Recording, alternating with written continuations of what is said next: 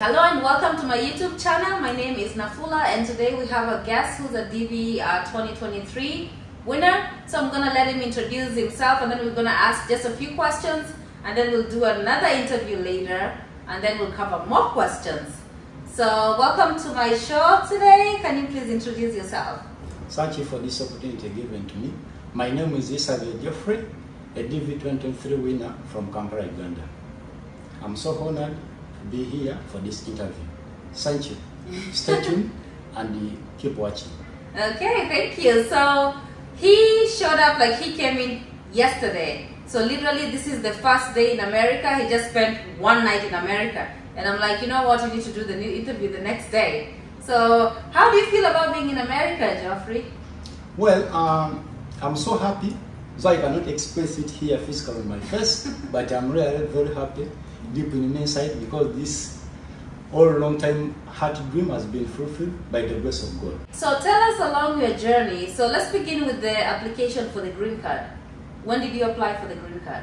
I applied the, on 21st of October 2021.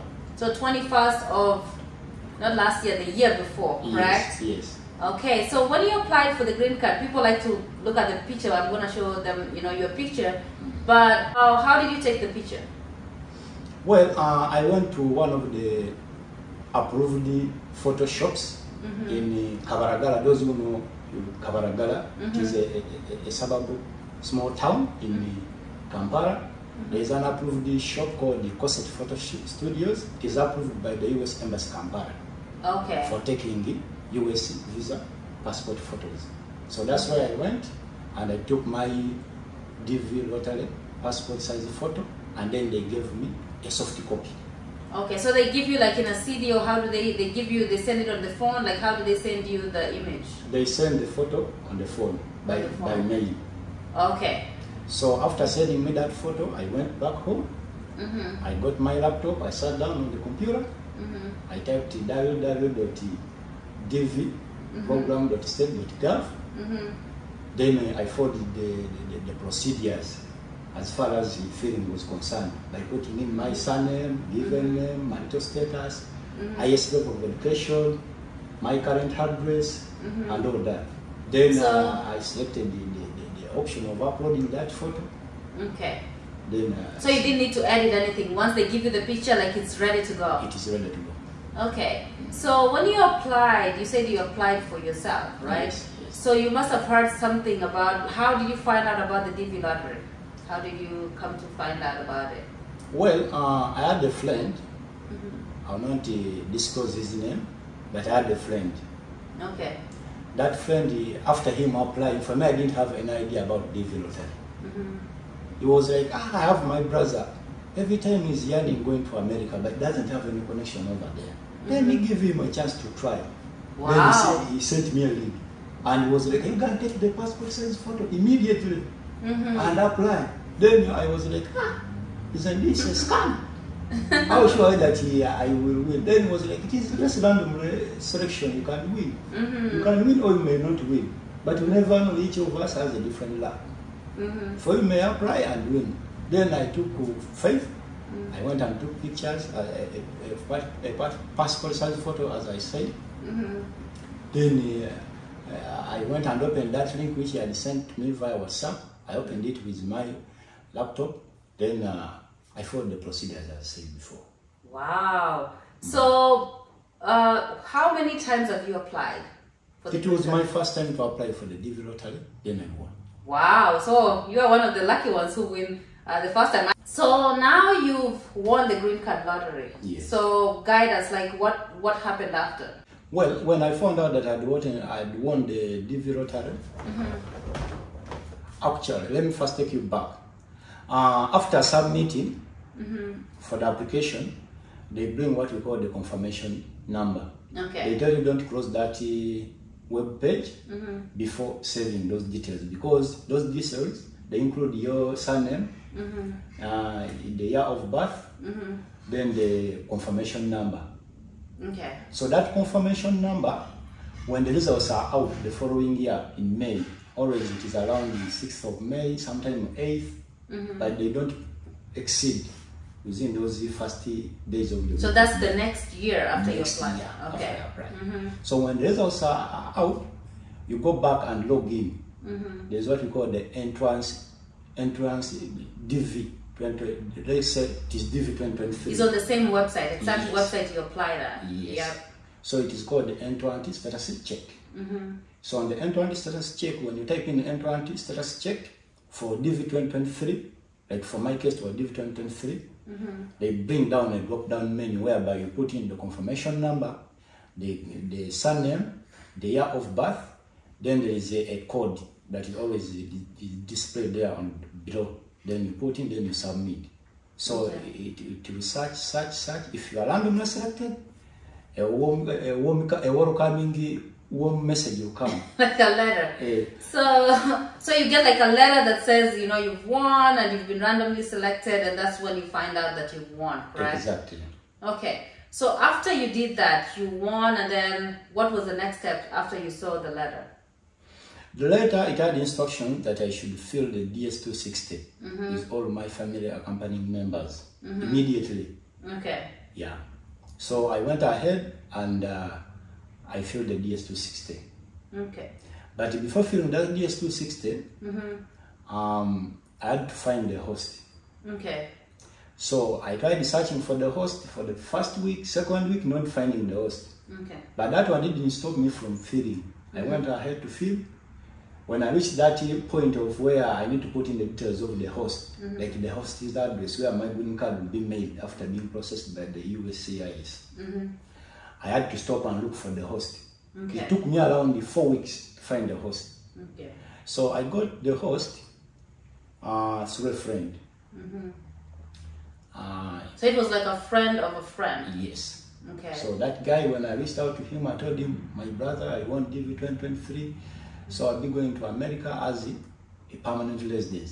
But uh, before my application will be processed for to be ready for my interview in the Nairobi embassy, mm-hmm. they need the, me to get the host details where my green card will be made. If I, if at all my visa is approved. So that brother was like, you know what? I have a friend who lives in Indiana. Mm-hmm. Let me give him a call. Mm-hmm. So when he, he got a phone, he called the friend in Indiana. The friend was like, he won. Wow, conks. How lucky that guy is. Then I was like, it is by the grace of God.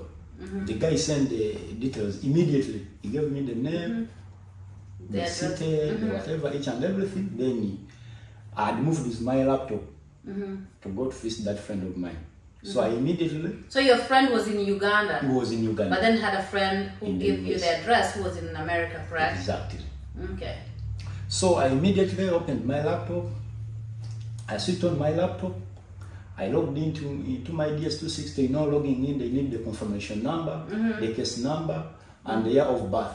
Okay. Then I logged in. Then I went to the there's option of putting in the details of what the the, the, the, the spot. The, I mean the host. Mm-hmm. I put in the name of the the, the host, the address, the zip code, the state, and the city, and his phone number. Then I Okay. proceeded to the next. Then I put in the details of my parent, my highest level of education. Uh, I was single, so I didn't. I didn't. I, So you didn't have a lot of information to fill in, so it was a DS260 was easy. So after you submitted it, yes. what happens after? Well, uh, after submitting it, they always bring a summary of uh, your application, and it's called the DS260 confirmation page. Okay. So I, I had to print it out, so you can log in at any time you wish, and you have access to that form. Okay. So I had to print it out, and uh, I had to wait. So for my DS260 to be processed, as I'm uh, as I'm waiting for the second notification letter, as I'm uh, at the same time waiting for my case to be carried to get the second notification later. So you can get an interview. So let's start where you have an interview at the embassy and they send you like, okay, these are the requirements that you need for the interview. Can you take us through that that process? Well, uh, after I submitted my DS260, let me take it back shortly. They told me uh, I got the notification message after submitting it. Thank you, uh, DV applicant. the, I mean, sent you for the migrant visa application applicant, your application has been sent to KCCA for further review. Then they listed down three points that I should follow. One was obtaining the supporting documents. Okay. Two was like uh, I should take the required passport size photos that I will, I, will present to the embassy when my interview is ready. Then um, the third one, I think the third one I've forgotten, but there are three when you submit. Okay. There are three points they highlight that you should do, consider at that time, Okay. seriously. So I went ahead and applied for the birth certificate. I didn't have it because it's a supporting document Okay. to confirm that I was really born on that particular date, mm-hmm. which I filled in the form. Mm-hmm. Then I also went ahead to apply for, for the police clearance certificate. Mm-hmm. For the Ugandans, they apply through the the website of the Uganda Police Force. Then you select the optional certificate of good conduct for immigrants. Okay. When you apply for the certificate of good conduct, it comes two in one. Mm-hmm. The certificate of good conduct and the police clearance certificate. Mm-hmm. So when I applied for that, I went and made the payments for the birth certificate. Ugandans, you pay 5,000 in mm-hmm. any bank. Then you take that payment receipt with the details of your birth notification record from the hospital where you were born Mm-hmm. and the details of your parent can be either the national ID of your parent, you get a photocopy, and the national ID of your dad, you get a photocopy, and also your national ID. You take a photocopy with that payment, you step them together, you take them to the National Identification Regulation Authority at one of their offices. If you're in Kampala, you go to Kololo. Mm-hmm. If you're in any uh, part of the country, you go the National Identification and Registration Authority of Uganda, abbreviated as NIRA. It has offices at every part of the country. Okay. Yes. So you go and you process your birth certificate. Then for the police clearance certificate, as well as uh, the certificate of good conduct, I paid 76,000 Ugandan shilling. Okay. You can pay it in any bank. Mm-hmm. Then you get that payment reference. You go with it, we, together with your passport or a national ID. Mm-hmm. You go with it at the Naguru Biometric Center, mm-hmm. but you go there after booking the, the, the appointment. Okay. Like after making the payment for the certificate of good conduct, mm-hmm. you go back at the website of the Uganda Police Force. Or to make an appointment to that office. Exactly. Okay. Okay. So you pick a date. When you pick a date, they will send you a notification message via mail Mm-hmm. that your appointment then for biometric fingerprint taking it is on such and such and at this time. Mm-hmm. So you keep time following that notification. So upon your, not- your date of appointment, you take your national ID, the payment reference, mm-hmm. and the, the printout of the application that we shall have filed on their website. You print it out and go with it. Okay. Plus two passport size photos of Ugandan size. Not American size. You can take either American size or Ugandan size. There's no problem. You go with two passport size photos, the printout of your application, the payment reference, receipt, and also the your, identity card or a passport. Then Okay. you go for the fingerprints. Okay. So after taking your fingerprints, it takes uh, like uh, one week.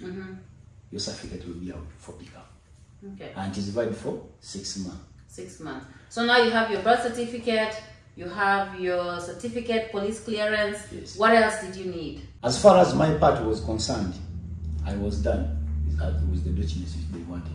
Okay. So now you're scheduled for the interview. So what doc- other documents did you need to gather before your interview? Well, um, I had to get the affidavit of support, Okay. the tax returns, and uh, the identity card of the person who's going to sponsor me. And the sponsor is not the host. Or the, the, the host can serve both. So you can have somebody who's a host and also a sponsor, Yes. and you can have somebody who's a host, but then somebody else sponsors for you, for your affidavit of support. Exactly. So with the affidavit of support, you got an address, a friend of a friend found you a host. So did that host give you the affidavit of support or how did that go? Well, uh, that host did not give me the affidavit of support. Okay. Actually, what happened mm-hmm. um, when I talked to him about mm-hmm. the issue of the affidavit of support, the tax returns, and identity card, he instead just he disappointed me. Told me, you know what, mm-hmm. my brothers and neighbors did not just share personal information like that. Because it's personal information, like you know Yes. your taxes and everything. That's your social security number is there. So that's really personal information for somebody, for people who live in the U.S. So it's not easy for somebody to just give it like that. Exactly. So from that point, I was somehow disappointed, but uh, little did I know that it was a blessing in disguise. Mm-hmm. I had to kneel down and ask God. Mm-hmm. I told God, you are the one who chose me among the many millions of people who apply for mm-hmm. this. Make a way for me. I kept on praying, praying, praying as time was going, reaching out different people um, to help me out, but uh, many of them were turning me down. That one did not stop me continue praying hard. So how important is it of support at the embassy? Do you really need it or is optional when you go to the uh, interview?